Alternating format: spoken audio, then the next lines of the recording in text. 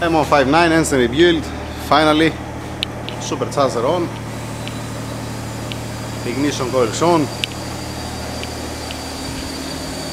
This is from the, the main fuel line, it's different than the other, because I upgrade on this before the fuel pump.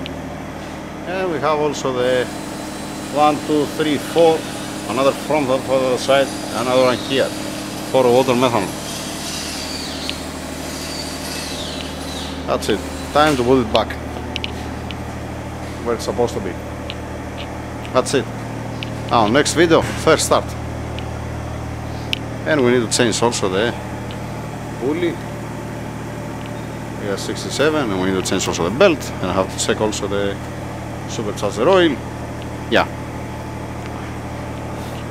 Yes, I tied it. I'll go and check it again. That's it. This is a small update. Thank you very much.